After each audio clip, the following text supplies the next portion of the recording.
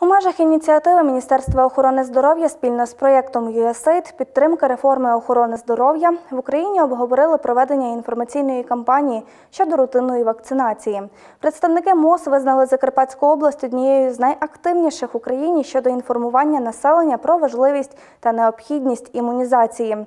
Представники групи регулярно здійснюють планові виїзди в громади, спілкуються з місцевими жителями, духовенством, освітянами, підприємцями щодо імунізації проти коронавірусу та проведення рутинних щеплень.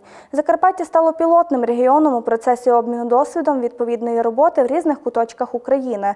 Радник міністра охорони здоров'я, керівник комунікаційного центру вакцинації від COVID-19 Володимир Біруля зауважив, що група є ефективним прикладом синергії представників органів державної влади, комунікаційників та обласного епідеміолога, адже вкрай важливо доносити інформацію чітко і коректно. Питання імунізації та боротьби з COVID-19 перебуває під постійним контролем президента України Володимира Зеленського.